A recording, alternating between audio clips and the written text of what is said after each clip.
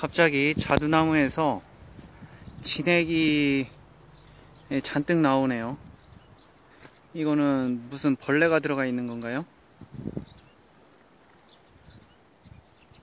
이 진액에 눌러보면은 이 나무 껍질이 쏙쏙쏙쏙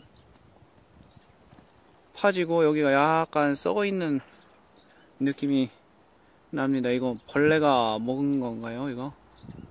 도대체 무슨 약을 해야 되죠?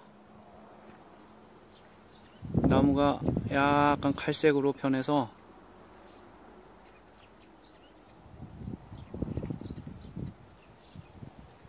네 여기도 그렇고 여기도 그렇고 이것도 눌러보면은 쏙 들어가서 수피가 금방 벗겨지네요 무슨 이런 거 무슨 약을 해야 이걸 낫죠? 여기 안에 벌러지가 있는 건가요? 멀쩡했는데 갑자기 그러네요.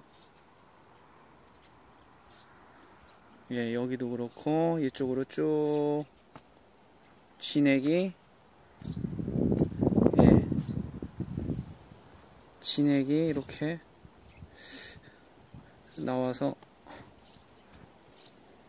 수피가 갈색으로 변해 있네요.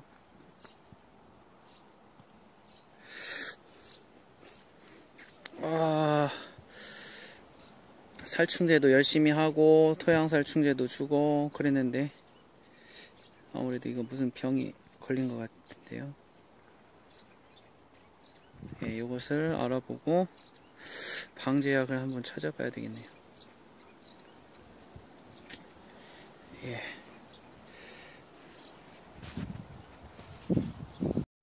네, 제가 아까 여기에 나온 진액이 예, 무엇 때문에 그런지 예, 청도 달콤한 농장님의 유튜브를 보니까 어, 복숭아 유리나방 피해라고 그러시더라고요. 그래가지고 여기 아까 전에 진액이 나왔던 부분을 제가 칼로 이렇게 다 도려냈어요. 도려내고 어, 유튜브를 찾아서 보니까 아, 복숭아 유리나방 피해라고 그러시네요.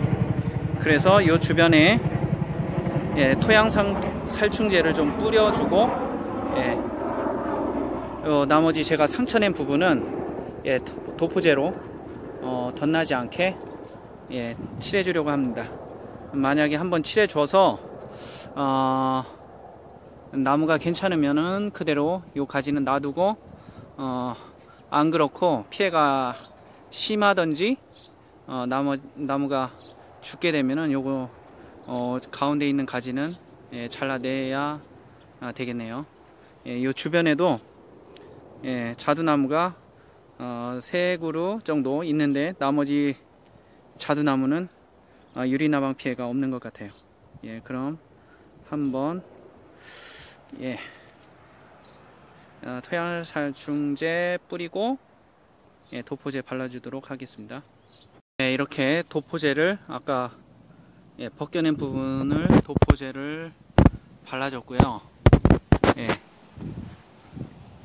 진행 나온 부분을 다 긁어낸 다음에 도포제 발라주고 이제 여기 보이는 토양살충제 아, 지금 뿌려서 효과가 있을지 잘 모르겠는데 그래도 안 뿌리는 것보다는 나을 것 같아서 또 한번 뿌려주겠습니다.